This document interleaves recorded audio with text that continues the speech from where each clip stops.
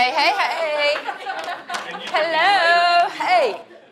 I have a really awesome opportunity, okay? Auditioning for a nationwide commercial with Dale Jr.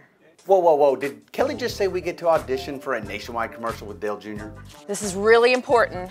I've got a flyer here for you. I know y'all can do this, but whatever you do, don't screw up. Don't screw up. Right. I remember this meeting. Junior Motorsports employees had the opportunity to audition for the role of a Junior Motorsports employee. It was for the new commercial called Water Cooler Dale. Now, by now you know the commercial. Dale Jr.'s walking through the halls of his own company, shaking hands, sealing deals, chatting it up with his employees about cute babies and friend requests. To others, I'm Water Cooler Dale. Okay, so you're wondering why did Nationwide not use us real employees in the commercial? And the answer to that is they wanted to. Right up until the point they saw our audition tape. You got this, man. You're gonna kill it. Top of my head. Ja, da war nicht immer noch ein Schein auf der Nase. Ready? Whenever you are, right?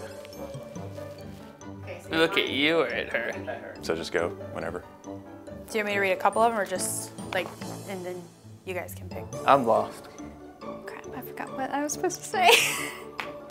How do you forget one line? Uh, what's the lines again? Line. Bart, I'm so confused now. What was the line again? And he doesn't even check it that often. Sorry, I forgot my second line. And I, what was I supposed to do? Did you get that? Hey,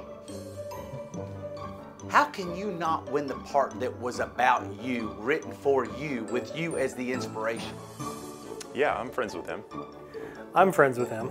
So if he's my buddy or he's my friend, he's, you know, I'm friends with him. What was that? Woosah. Do me a favor and deliver him to Natalie. No, no, no. Oh, I thought you wanted to.